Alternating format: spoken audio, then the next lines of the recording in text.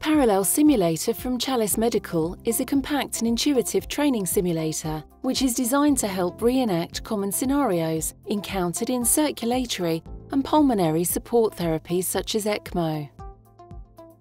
The system comprises of a simulator hub which connects in line to any ECMO circuit and two high-specification tablet PCs, one designated as the monitor for trainees and the other as the controller for trainers. All of the devices are wirelessly connected to each other using an XBee transmitter.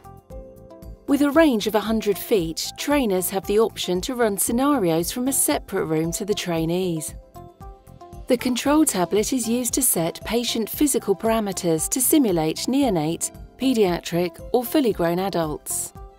The parameters include arterial and central venous pressure, heart and respiratory rate, temperature, mixed venous and arterial saturation, end tidal carbon dioxide levels, and fluid flow rate. The monitor tablet instantly receives any data from the control tablet and graphically displays it in real time.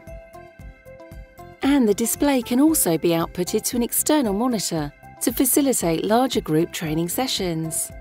The trainer can input and save any number of predetermined scenarios, which can be quickly and easily recalled and sent, forcing the trainee to re-evaluate the changing situation and take the necessary corrective action. Common scenarios that can be recreated include patient hypovolemia from an unexpected bleed, venous air entrainment into the circuit, or reduced venous drainage from a kinked or restricted cannula.